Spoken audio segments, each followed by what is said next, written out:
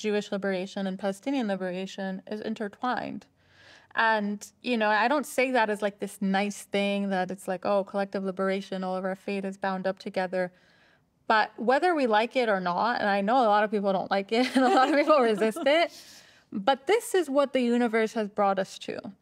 It's like either we choose to somehow put our weapons down, put our defenses down. Like, really, these cycles of like attack, defense, attack, defense. It's like I get tired just talking about it. Mm. I don't know how people are not exhausted from, you know, trying to uphold that. Yeah. So I, I think we really need to understand that we're both people of this land and and the only way is to see our shared humanity our shared narratives our our shared lineages really